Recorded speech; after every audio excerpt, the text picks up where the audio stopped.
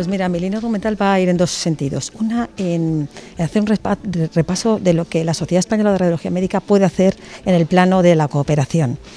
Y en un plano y en un aspecto, en un nivel un poquito más mm, concreto, si quieres, eh, pues unas mínimas pinceladas de lo que son algunas eh, eh, algo de, de ecografía básica. Esas dos son las líneas argumentales fundamentales que vamos a seguir en la presentación. Bueno, pues yo por lo que he palpado y por lo que vengo eh, recogiendo, necesitan mucha formación, sobre todo mucha formación y de alguna manera que esa formación luego siga tutelada de manera online si es necesario, presencial o online o virtual y a través de a través de internet, obviamente, a través de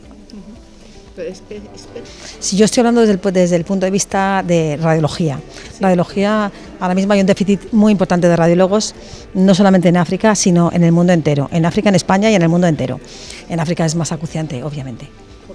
Me parece un, trabajo brutal, eh, muy ambicioso y desde luego si somos capaces, que yo creo que sí, que la organización va a ser capaz de llevarlo a cabo, tiene unas posibilidades infinitas y cada vez cada vez más y mucho más ahora apoyado y, apoyado con la inteligencia artificial que nos va a abrir nuevas puertas y nos va a facilitar mucho em, este, esta tutela, esta tutela de la formación que se dará a otros que a su vez pueden ser formadores.